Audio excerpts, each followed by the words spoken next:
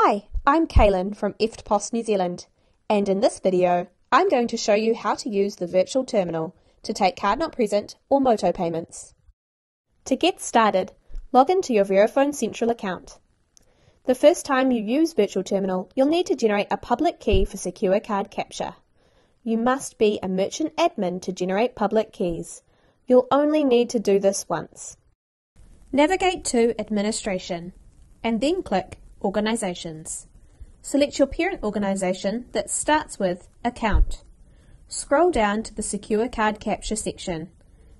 Click Create New Public Key. You're ready to process a virtual terminal transaction. To get to the virtual terminal, click on Payment Tools, then click Virtual Terminal.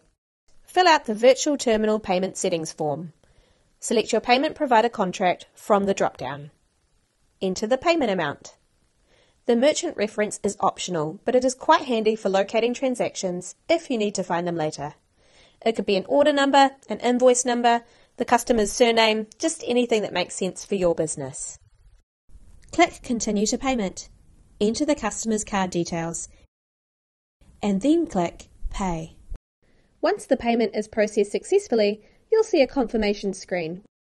If you need to process another virtual terminal transaction, you can click New Transaction here. If you need to refund the payment, you can do so from the Transaction Detail panel.